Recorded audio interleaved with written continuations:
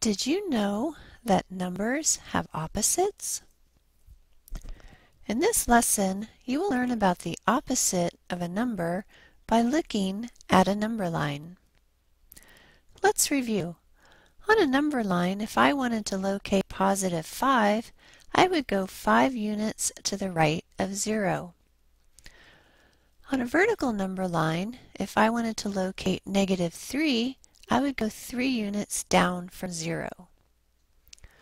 Common mistake is thinking an opposite is always negative. The opposite of negative 5 is not negative 5. Also, 0 should never be shown with a positive or negative in front of it. On a number line, 0 separates positive and negative numbers. 0 is neither positive or negative num or negative.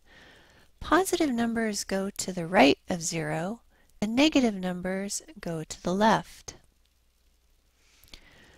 So if we were to locate positive 5 on the number line, we would go 5 units to the right of 0. If we wanted to find the opposite of 5, we would go 5 units to the left of 0 and land on negative 5. So 5 and negative 5 are opposites because they are both the same distance from 0. If we were to locate positive 11 on the number line, we would go 11 units to the right of 0.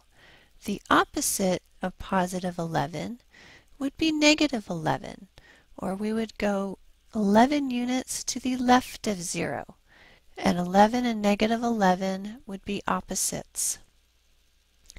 On a vertical number line, we can do the same thing.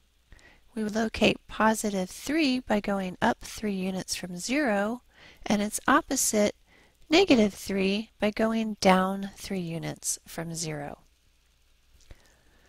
The opposite of 25 would be negative 25.